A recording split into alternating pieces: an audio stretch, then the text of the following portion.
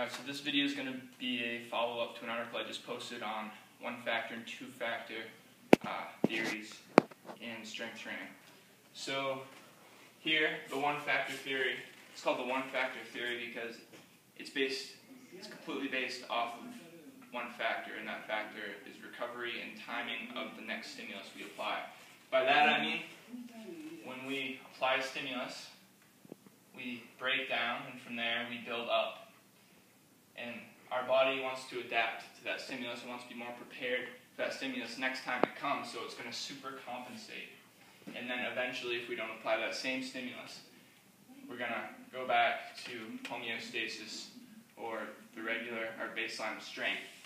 So, where the one factor comes in is right here.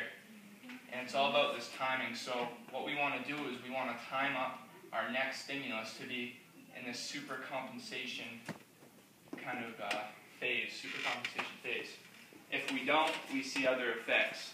But this is um, this has been a method used for a number of years, um, but it might not be the most effective way, just because it's hard to read when we're fully recovered, when we're super compensated. So I want to show a few examples here. So here are the scenarios that can happen. When we reapply the stimulus too early, we see this, we see a breakdown and then the recovery, but we don't get to the point where there's supercompensation. So we're then breaking back down again and going up and then don't wait for supercompensation. So we're constantly, we're actually getting weaker. We're not recovering our bodies completely. Um, now, the next scenario is reapplying a stimulus too late. So what happens to that is, same thing, up, all right,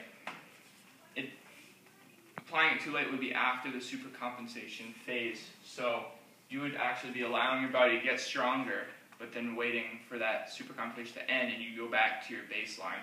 So what would actually happen here is you wouldn't get stronger, but you wouldn't get weaker, you just stay the same. And this is what, with correct timing in your workouts, this is what would happen. Break down, go up, supercompensation. All right, you see now breakdown's a little bit shorter because we applied the stimulus up here and again up here applied at the right time and you continue to get stronger. So that's just an explanation of the supercompensation theory.